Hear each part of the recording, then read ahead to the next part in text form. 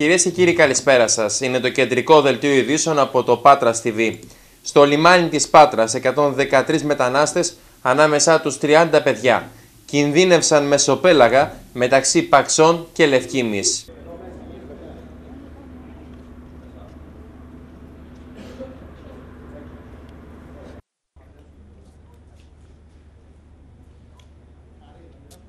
Στο λιμάνι της Πάτρας κατέπλευσε σήμερα το πρωί το εμπορικό πλοίο που μετέφερε 114 πρόσφυγες και μετανάστες, τους οποίους περισυνέλεξε χθες το απόγευμα από θαλάσσια περιοχή ανοιχτά των Παξών.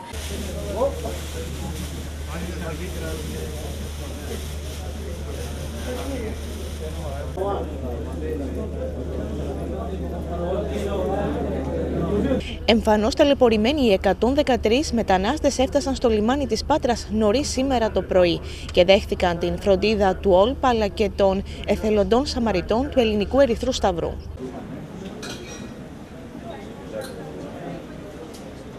...113 πρόσφυγες ή μετανάστες οι οποίοι βρέθηκαν σε προφανή κίνδυνο στη θαλάσσια περιοχή της Κέρκυρας στο λιμάνι της Πάτρας. Ε, Γίνονται οι πρώτες διατυπώσεις, τους υποδεχτήκαμε, ε, γίνονται οι πρώτες διατυπώσεις, έχει στηθεί εδώ ένα πρόχειρο ιατρείο, τους δώσαμε τις πρώτες βοήθειες, θα τους δοθεί ένα πρόχειρο ε, πρόγευμα, θα γίνουν ό,τι έχουν να γίνουν από πλευράς διατυπώσεων εντός του χώρου του λιμένα και στη συνέχεια θα κατευθύνουν στο αστυνομικό μέγαρο για τα περαιτέρω. Μεταφέρθηκαν σε εγκαταστάσεις του Οργανισμού Λιμένος Πατρών, όπου τους δόθηκε φαγητό και νερό. Καταπονημένοι, κάποιοι κουτσένοντας και κάποιοι άλλοι βήχοντας δέχτηκαν με χαρά ένα σάντουιτς και ό,τι άλλο ήθελαν ώστε να νιώσουν καλύτερα.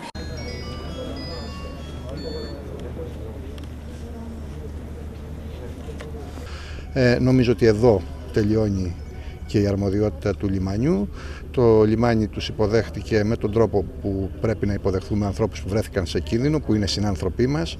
Ε, που έχουν φύγει από τις πατρίδες τους ε, κάτω από άθλιες συνθήκες, έχουν διακινδυνεύσει τη ζωή τους. Όταν οι μετανάστες αναχωρήσουν από την Πάτρα θα μεταφερθούν στην Αθήνα και από εκεί σε κέντρα φιλοξενίας προσφύγων.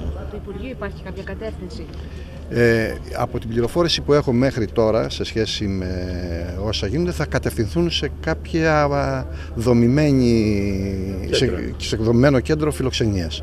Ε, δεν έχει καταλήξει, νομίζω ότι όμως αυτό εκφεύγει των ορίων του λιμανιού μας, ε, αλλά η αίσθησή μου είναι ακριβώς αυτή.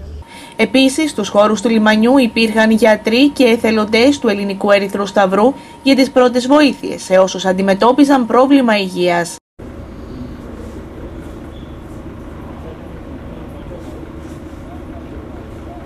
Επιτόπου ήταν τόσο ο πρόεδρος του ΟΛΠΑ Νίκος Κοντοές, ο οποίος συντόνιζε τις κινήσεις με ευαισθησία προς το δράμα αυτών των ανθρώπων, αλλά και αντιδήμαρχοι της Πάτρας, οι οποίοι τώρα αναμένεται με απόφαση του αρμόδιου Υπουργείου Μεταναστευτικής Πολιτικής να προωθηθούν προς κάποιο κέντρο φιλοξενίας.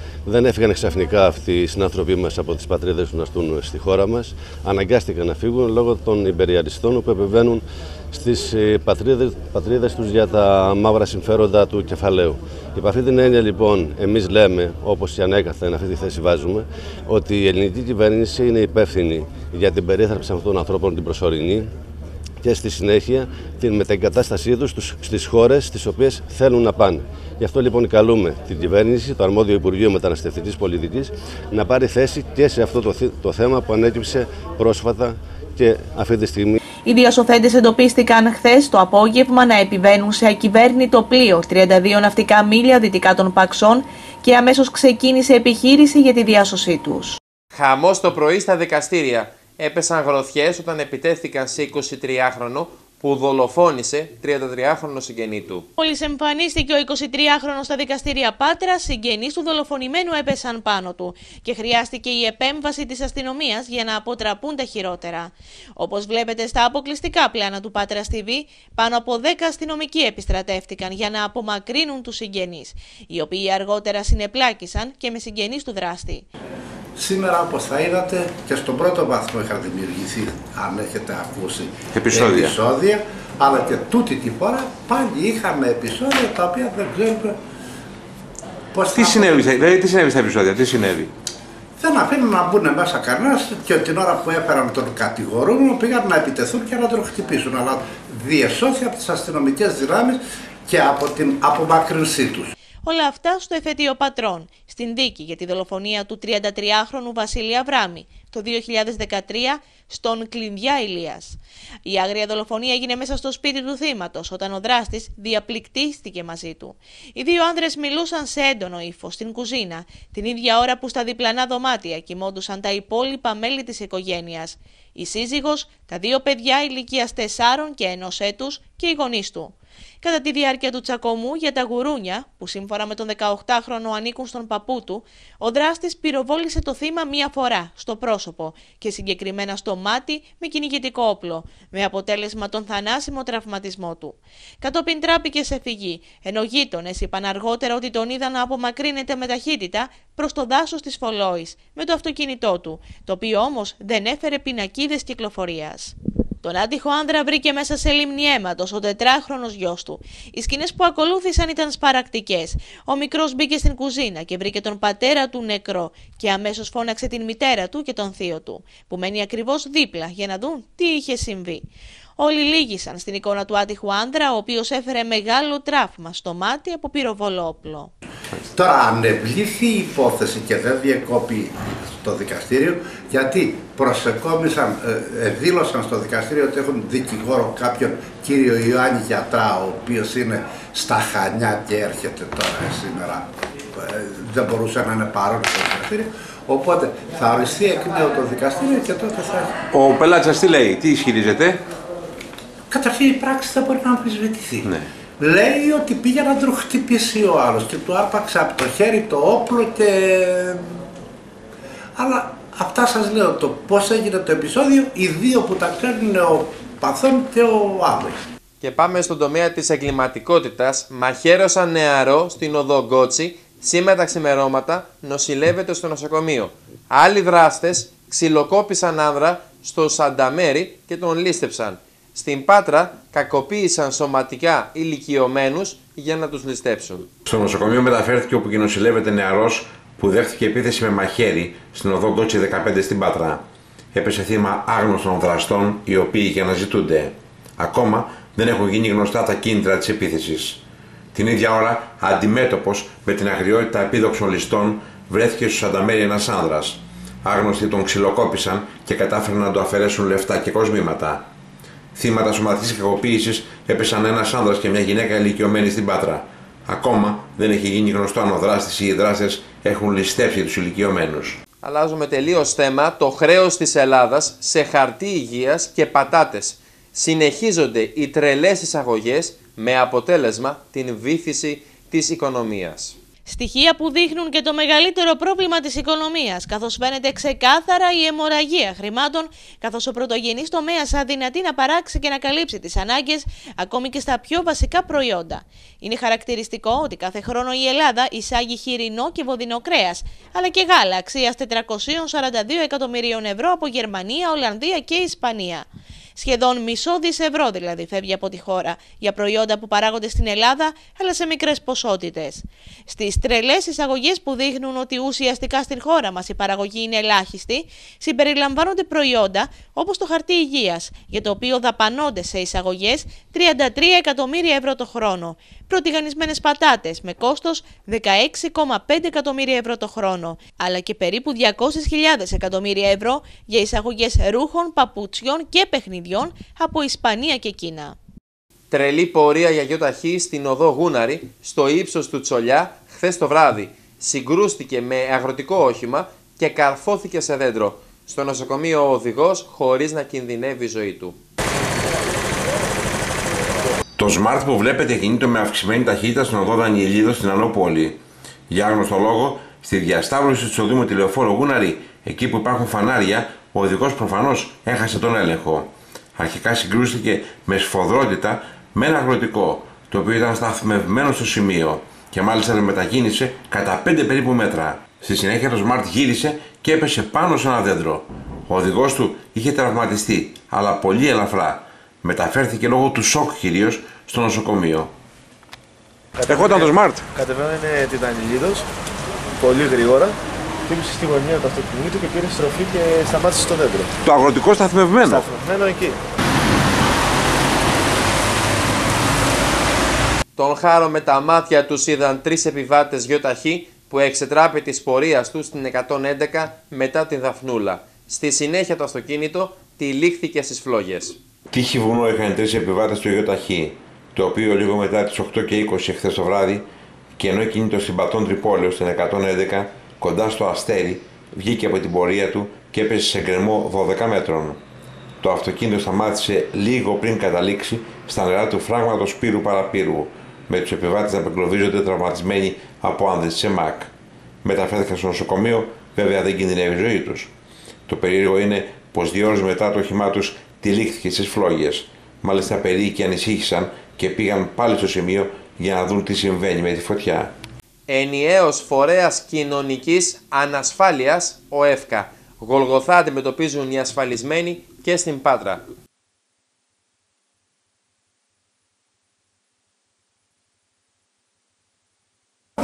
Τώρα, δέστε τι σας λείπει κύριε. Παρακαλώ πολύ. Δέστε τι σας λείπει και τα φέρω μια και έξω. Έχω έρθει Παρασκευή περίμενα στο μεσημέρι. Έρχομαι σήμερα να κάνω τη δουλειά μου. Ε, Μην μου τα λες ένα-ένα. Με συγχωρείς πολύ. Αν ήσουν στη θέση μου, δεν θα έλεγες τα ίδια. Δεν έχω κάτι μαζί σου. Μην μου τα λες ένα-ένα. Για εικόνες ντροπής κάνουν λόγο οι εργαζόμενοι στα ασφαλιστικά ταμεία, καθώς στα υποκαταστήματα του ΕΦΚΑ οι ασφαλισμένοι περνούν γολγοθά.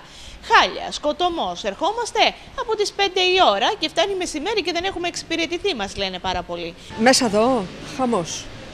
Χαμός. Από τις 7.30 ώρα είμαι μέσα εδώ. Και εξυπηρετηθήκατε τώρα η ώρα Ε, εξυπηρετήθηκα, ξαναήρθα κτλ. Και ποιον δεν τρεπορίζεται. Και ποιον; Όχι εμείς είμαστε γέροι. Χειρότερα είμαστε γέροι από τους νέους. Ναι. Τι να... Μέσα βρήκατε άκρη τελικά. Ε, κάπου βρήκαμε. Άμα κάθεσαι κάνα δύο ώρες. Ακόμα και στα πιο απεσιόδοξα σενάρια δεν μπορούσαν να προβλέψουν ότι δύο μήνες μετά την έναρξη λειτουργίας του πολυδιαφημισμένου υπερταμείου, τα προβλήματα θα έφταναν σε τέτοιο βαθμό. Πολλά δικαιολογητικά ζητούνε. Καταλάβατε; Πολλά δικαιολογητικά. Ναι, ζητάνε. Ζητάνε οικογενειακή κατάσταση, ζητάνε. α, πρωτοβα- Εγώ είμαι για άτομα με ειδικές ανάγκες. Αντίγραφο πρωτοβάθμια σε. Και τώρα που πάτε, να φέρετε τα Πάω δικαιολογητικά. να βγάλω και φωτοτυπία του βιβλιαρίου. Και να ξανάρθετε. Να ξαναπεριμένετε δηλαδή. Ίσως, θα έχω αφήσει εκεί τα δικαιολογητικά, οπότε δεν μπορεί να με πάρει αμέσως. Δεν Περιμένατε ξέρω. πολλή ώρα. Ναι, μια μισή ώρα. Στις 17 Μαρτίου λήγει η προθεσμία πληρωμής για τις εισφορές Ιανουαρίου. Ενώ 31 Μαρτίου θα λήξει και η προθεσμία για τις εισφορές του Φεβρουαρίου. Με αποτέλεσμα σε 13 ημέρες οι ασφαλισμένοι να πληρώσουν δύο φορές. Παρά τις διαβεβαιώσεις ότι το θέμα θα λυνόταν χθες, σχεδόν 150.000 ασφαλισμένοι δεν έχουν λάβει ειδοποιητήρια. Ακόμα δεν έχει δημιουργηθεί η ηλεκτρονική φόρμα που θα συμπληρώσουν οι εργαζόμενοι με μπλοκάκι όταν η εισφορά επιμερίζεται με τον εργοδότη. Δεν έχουν δοθεί στις επιχειρήσεις οι κωδικοί για την υποβολή των δηλώσεων. Παντού μήπως εδώ είναι μόνο. Χαμός, χαμός. Πολλοί κόσμος, αλλά ε, πιστεύω ότι οι εργαζόμενοι κάνουν μια προσπάθεια, εξυπηρετούν. Αλλά πάρα πολλοί κόσμος. προβλήματα το νέο σύστημα. Αυτό κατάλαβα και εγώ, πάρα πολλά προβλήματα. Εικόνες σαν αυτή που κατέγραψε η κάμερα του Πάτερα TV στον ΕΦΚΑ Πάτρας συναντά κανείς καθημερινά σε όλη τη χώρα. Η εικόνα με την ένταση και τις φωνές μεταδόθηκε σε πολλά πανελλαδικής εμβέλειας κανάλια της χώρας. Τώρα, δέστε τι σας λείπει κύριε. Παρακαλώ πολύ. Δέστε τι σας λείπει και τα φέρω μια και έξω. Έχω έρθει Παρασκευή περίμενα στο μεσημέρι. Έρχομαι σήμερα να κάνω τη δουλειά μου. Ε, Μην μου τα λες ένα-ένα. Πόλεμος μεταξύ Υπουργείου και εργολάβων γιατί καθυστερεί η παράδοση της κορύφου πατρών. Έβαλαν τον μετεωρολόγο Θοδωρή Κολυβά ως πραγματογνώμονα για να διαπιστώσει αν όντως λόγω της κακοκαιρίας του Ιανουαρίου καθυστέρησε το έργο. Πραγματικός πόλεμος Υπουργείου και Εργολάβων για την καθυστέρηση της παράδοσης της Κορίνθου Πατρών. Χθεσινό έγγραφο του Υπουργείου αποκαλύπτει ότι το Δημόσιο ζήτησε από ανεξάρτητο μηχανικό στις 14 Δεκέμβρη του 2016 κατάλογο με δραστηριότητες του έργου που έχουν καθυστέρηση. Ένα μήνα αργότερα η Ολυμπίαδος ζήτησε να χαρακτηριστεί γεγονός ανωτέρας βίας η κακοκαιρία που έπληξε την περιοχή στις 6 με 12 Γενάρη, υποστηρίζοντας ότι οι συνέπειές της δεν μπορούσαν να έχουν προβλεφθεί. Το δημόσιο επικαλείται και την τελευταία συμφωνία με την οποία η Ολυμπία Οδός και οι κατασκευαστές εισέπραξαν μεγάλες αποζημιώσεις. Η συμφωνία αυτή προβλέπει ποινικές ρήτρες για κάθε ημέρα καθυστέρησης στις τρεις ημερομηνίες, την 31η Μαρτίου, και 30 Ιουνίου και 31 Αυγούστου. Η αποζημίωση θα κυμαίνεται από 45.000 έως και 90.000 ευρώ την ημέρα. Το δημόσιο όρισε πραγματογνώμονα της ΕΜΗ, μετεωρολόγο, τον Θοδωρή Κολυδά, υποδιοικητή της ΕΜΗ, ώστε να διαπιστωθεί αν όντως υπήρξε ζήτημα ανωτέρας βίας λόγω του καιρού εκείνη την περίοδο. Την ίδια ώρα, απεσιόδοξος δηλώνει ο Δήμαρχος Πατρέων για την Ολυμπία Οδό. Επισημαίνει πως τα διόδια θα είναι τόσο ακριβά που σε συνδυασμό με την βενζίνη δεν θα χρησιμοποιείται εύκολα. Πότε θα είναι τελειωμένο για να παραδοθεί, το γνωρίζουμε ότι αυτές οι ημερομηνίες έχουν δοθεί χρόνια και χρόνια. Κάθε φορά βάζαμε, βάζαμε χρόνια, μετά βάζαμε μήνες, μετά θα βάλουμε εβδομάδες, μετά θα βάλουμε ημέρες. Το ζήτημα είναι ότι θα πρέπει να τελειώσει, αλλά να μην ξεχνούμε ότι φοβάμαι πολύ ότι φτιάχνεται ένας δρόμος για ποιους. Διότι όταν θα παραδοθεί θα μπει σε, σε κίνηση η, τα διόδια τα οποία θα πρέπει να πληρώσουμε. Και όταν θα θέλει ένας εργαζόμενος σε ένα μεροκάματο για να πάει και να έρθει στην Αθήνα, ποιον δρόμο θα ακολουθεί; Θα παίρνει το δρόμο της ε, Ολυμπίας Οδού που φτιάχθηκε ή θα ακολουθεί άλλους δρόμους γιατί δεν θα έχει χρήματα. Δηλαδή θα και από εδώ αναδεικνύεται το ζήτημα τον, ε, ότι αυτός ο δρόμος θα πρέπει να μπει στη λειτουργία του χωρίς διόδια για να το απολαύσει ο ελληνικός λαός. Αυτός εξάλλου το πλήρωσε και κατασκευάστηκε και θα έρθει να το ξαναπληρώσει για να ματώσει για να μπορεί να, τον, για να κυκλοφορήσει. Αλλά επειδή δεν θα έχει τα χρήματα, πώς θα γίνει; Θα κοιτάζει τον δρόμο και θα κυκλοφορούν εκεί αυτοί που έχουν την οικονομική ευχέρεια; Είναι ένα ζήτημα το οποίο πρέπει να απασχολήσει το λαό μας και να είναι στις άμεσες διεκδικήσεις μας τα πράγματα να αλλάξουν. Να βγάλουμε και συμπεράσματα για την Ολυμπία Οδό.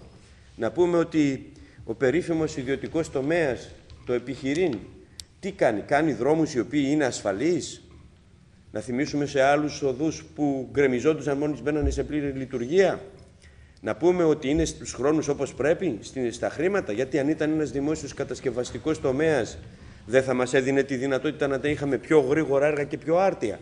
Δηλαδή τώρα οι εργαζόμενοι μας εδώ που είναι στο Δήμο και είναι εδώ παρόντες δεν είναι αυτοί οι οποίοι μας χτίζουν τα κτίρια.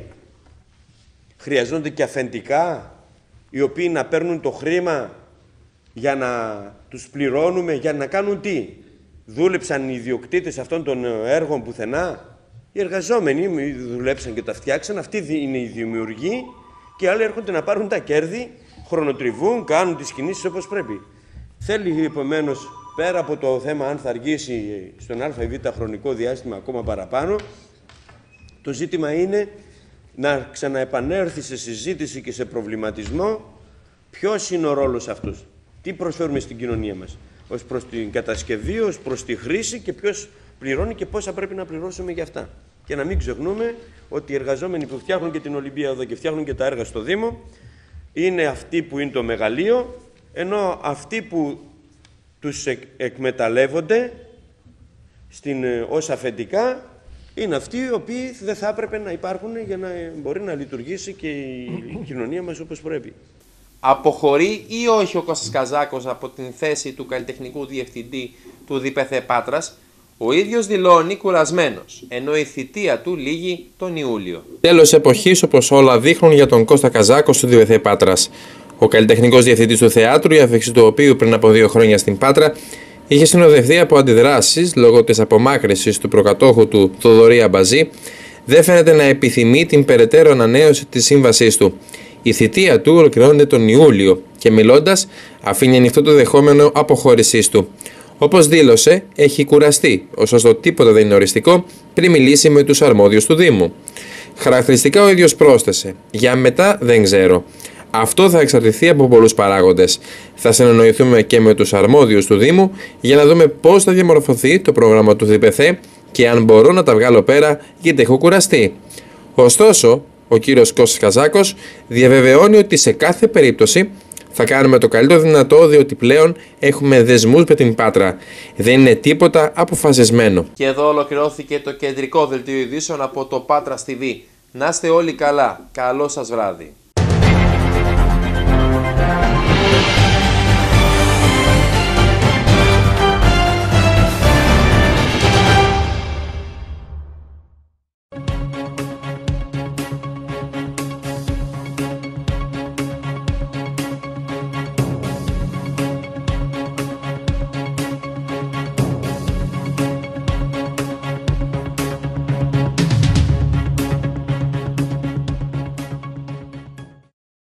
Αν μας δώσετε ένα λεπτό από το χρόνο σας, θα σας δώσουμε τρία χρόνια από το δικό μας. Γιατί στο Δούβρι δεν αγοράζεις, επενδύεις.